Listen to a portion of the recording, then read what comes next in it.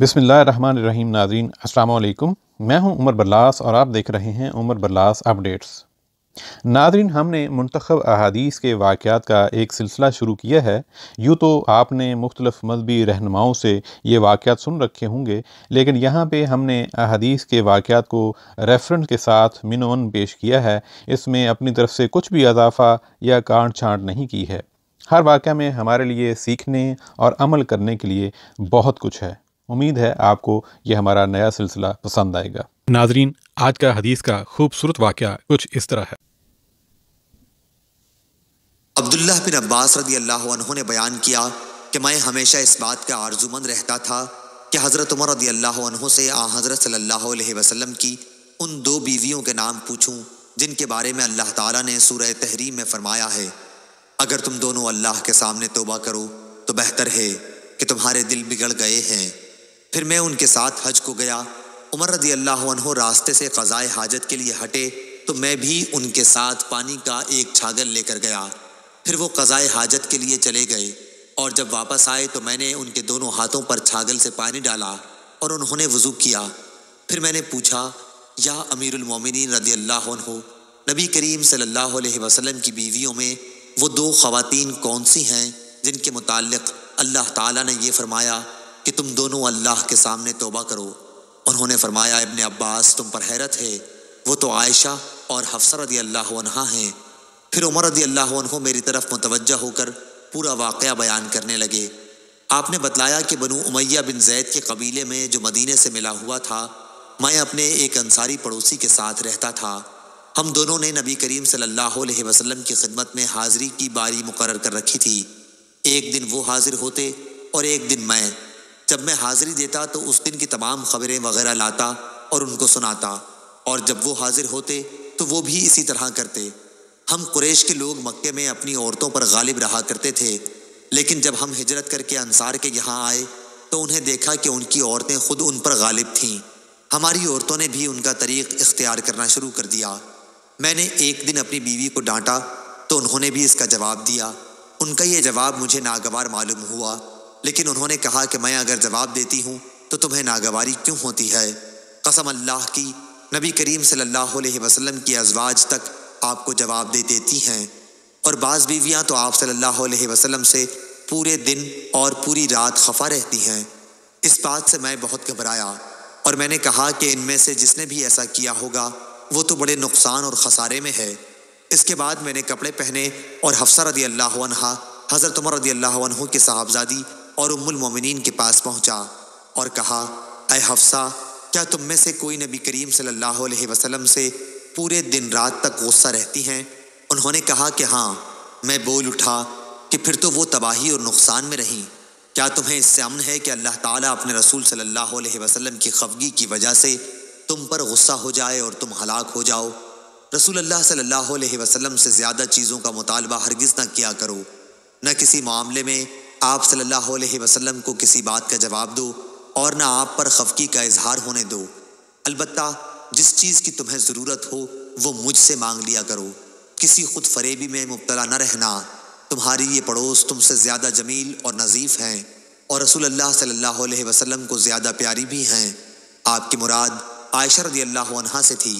हज़रत उमर रदी अल्लाह ने कहा, उन दिनों ये चर्चा हो रहा था कि गस्सान के फ़ौजी हमसे लड़ने के लिए खुरों के नाल बाँध रहे हैं। मेरे पड़ोसी एक दिन अपनी बारी पर मदीना गए हुए थे। फिर इशा के वक्त वापस लौटे। आकर मेरा दरवाज़ा उन्होंने बड़ी ज़ोर से खटखटाया और कहा, क्या आप सो गए हैं? मैं बहुत घबराया हुआ बाहर आया। उन्होंने कहा कि एक बहुत बड़ा हादसा पेश आ गया है। मैंने पूछा, क्या हुआ? क्या गस्सान का लश्कर आ गया? उन्होंने कहा, बल्कि इससे भी बड़ा और संगीन हादसा। वो ये कि रसूल अल्लाह सल्लल्लाहु अलैहि वसल्लम ने अपनी बीवियों को तलाक दे दी। ये सुनकर उमर रदी अल्लाह ने फरमाया, हफ्सा रदी अल्लाह तो तबाह व बर्बाद हो गई। मुझे तो पहले ही खटका था कि कहीं ऐसा ना हो जाए। उमर रदी अल्लाह ने कहा, फिर मैंने कपड़े पहने, सुबह की नमाज़ रसूल करीम सल्लल्लाहु अलैहि वसल्लम के साथ पढ़ी। नमाज़ पढ़ते ही आ हज़रत सल्लल्लाहु अलैहि वसल्लम अपने बाला खाना में तशरीफ़ ले गए और वहीं तन्हाई इख्तियार कर ली। मैं हफ्सर रदी अल्लाह के यहाँ गया, देखा तो वो रो रही थी। मैंने कहा, रो क्यों रही हो? क्या पहले मैंने तुम्हें नहीं कह दिया था? क्या रसूलुल्लाह सल्लल्लाहु अलैहि वसल्लम ने तुम सबको तलाक दे दी है? उन्होंने कहा कि मुझे कुछ मालूम नहीं। आप बाला खाना में तशरीफ़ रखते हैं। फिर मैं बाहर निकला और मिंबर के पास आया। वहाँ कुछ लोग मौजूद थे और बाज रो भी रहे थे। थोड़ी देर तो मैं उनके साथ बैठा रहा, लेकिन मुझ पर रंज का गलबा हुआ और मैं बाला के पास पहुँचा, जिसमें आप सल्लल्लाहु अलैहि वसल्लम तशरीफ़ रखते थे। मैंने आपके एक सियाह ग़ुलाम से कहा कि हज़रत सल्लल्लाहु अलैहि वसल्लम से कहो कि उमर रदी अल्लाह हो इजाज़त चाहता है। वो ग़ुलाम अंदर गया और आप सल्लल्लाहु अलैहि वसल्लम से गुफ्तगू करके वापस आया और कहा कि मैंने आपकी बात पहुँचा दी थी, लेकिन आ हज़रत सल्लल्लाहु अलैहि वसल्लम खामोश हो गए। चुनाचा मैं वापस आकर उन्हीं लोगों के साथ बैठ गया जो मेंबर के पास मौजूद थे। फिर मुझ पर रंज गालिब आया और मैं दोबारा आया, लेकिन इस दफ़ा भी वही हुआ। फिर आकर उन्हीं लोगों में बैठ गया जो मेंबर के पास थे। लेकिन इस मरतबा फिर मुझसे नहीं रहा गया और मैंने ग़ुलाम से आकर कहा कि उमर रदी अल्लाह के लिए इजाज़त चाहो। लेकिन बात जूँ की तू रही। जब मैं वापस हो रहा था कि ग़ुलाम ने मुझको पुकारा और कहा कि रसूल अल्लाह सल्लल्लाहु अलैहि वसल्लम ने आपको इजाज़त दे दी है। मैं आपकी खिदमत में हाजिर हुआ तो आप सल्लल्लाहु अलैहि वसल्लम खजूर की चटाई पर लेटे हुए थे, जिस पर कोई बिस्तर भी नहीं था। इसलिए चटाई के उभरे हुए हिस्सों का निशान आपके पहलू में पड़ गया था। आप उस वक्त एक ऐसे तकिए पर टेक लगाए हुए थे, जिसके अंदर खजूर की छाल भरी गई थी। मैंने आप सल्लल्लाहु अलैहि वसल्लम को सलाम किया और खड़े ही खड़े अर्ज़ की कि क्या आप सल्लल्लाहु अलैहि वसल्लम ने अपनी बीवियों को तलाक दे दी है? आपने निगाह मेरी तरफ़ करके फरमाया कि नहीं। मैंने आपके गम को हल्का करने की कोशिश की और कहने लगा, अब भी मैं खड़ा ही था। या रसूल अल्लाह सल्लल्लाहु अलैहि वसल्लम, आप जानते ही हैं कि हम कुरैश के लोग अपनी बीवियों पर गालिब रहते थे। लेकिन जब हम एक ऐसी कौम में आ गए, जिनकी औरतें उन पर गालिब थीं, फिर हज़रत उमर रदी अल्लाह ने तफसील ज़िक्र की। इस बात पर रसूल करीम सल्लल्लाहु अलैहि वसल्लम मुस्कुरा दिए। फिर मैंने कहा, मैं हफ्सा रदी अल्लाह के यहाँ भी गया था, और उससे कह आया था कि कहीं किसी खुद फरेब में ना मुबतला रहना।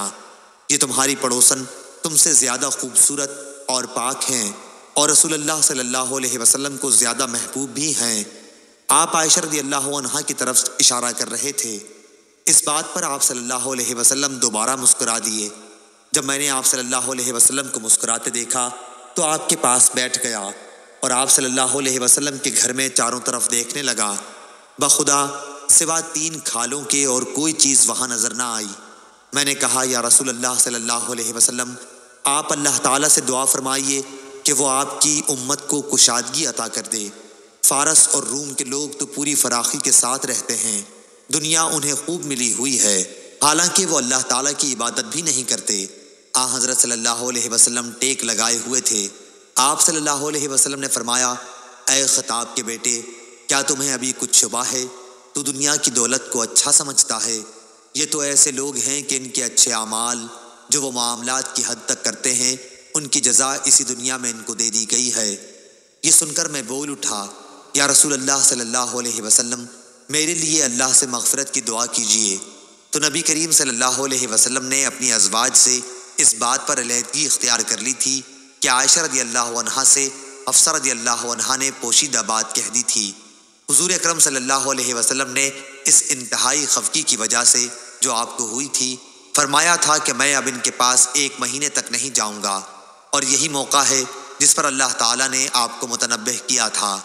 फिर जब उनतीस दिन गुजर गए तो आप आयशा रदी अल्लाह के घर तशरीफ़ ले गए और उन्हीं के यहाँ से आपने इब्तदा की। आयशा रदी अल्लाह ने कहा कि आपने तो अहद किया था कि हमारे यहाँ एक महीने तक नहीं तशरीफ़ लाएँगे, और आज उनतीसवीं की सुबह है। मैं तो दिन गिन रही थी। नबी करीम सल्लल्लाहु अलैहि वसल्लम ने फरमाया ये महीना उनतीस दिन का है और वो महीना उनतीस ही दिन का था। आयशा रदी अल्लाह ने बयान किया कि फिर वो आयत नाजिल हुई, जिसमें अजवाजुलनबी रदी अल्लाह को इख्तियार दिया गया था। इसकी भी इब्तदा आप सल्लल्लाहु अलैहि वसल्लम ने मुझी से की और फरमाया कि मैं तुमसे एक बात कहता हूँ और ये ज़रूरी नहीं कि जवाब फ़ौर दो, बल्कि अपने वालदेन से भी मशवरा कर लो। आयशा रदी अल्लाह ने बयान किया कि आपको ये मालूम था कि मेरे माँ बाप कभी आपसे जुदाई का मशवरा नहीं दे सकते? फिर आप सल्लल्लाहु अलैहि वसल्लम ने फरमाया कि अल्लाह ताला ने फरमाया है क्या नबी सल्लल्लाहु अलैहि वसल्लम, अपनी बीवियों से कह दो, अल्लाह ताला के कौल अजीमा तक। मैंने अर्ज़ किया, क्या अब इस मामले में भी अपने वालदेन से मशवरा करने जाऊँगी? इसमें किसी शुबे की गुंजाइश ही नहीं है कि मैं अल्लाह और उसके रसूल सल्लल्लाहु अलैहि वसल्लम और दार आखरत को पसंद करती हूँ। इसके बाद आप सल्लल्लाहु अलैहि वसल्लम ने अपनी दूसरी बीवियों को भी इख्तियार दिया और उन्होंने भी वही जवाब दिया जो आयशा रदी अल्लाह ने दिया था। सही बुखारी, हदीस नंबर दो हज़ार चार सौ अड़सठ। नाजरीन, ये था आज का हदीस का वाक़ उम्मीद करता हूँ आपको अच्छा लगा होगा। आपसे मज़ीद दरख्वास्त है कि इस तरह के सबक आमोज वाक़ात अपने घर वालों को और दोस्त अहबाब को सुनाते रहा करें ताकि हम सब अपने दीन से जुड़े रहें और सीखते रहें। उमर बरलास को इजाज़त दीजिए। असलकम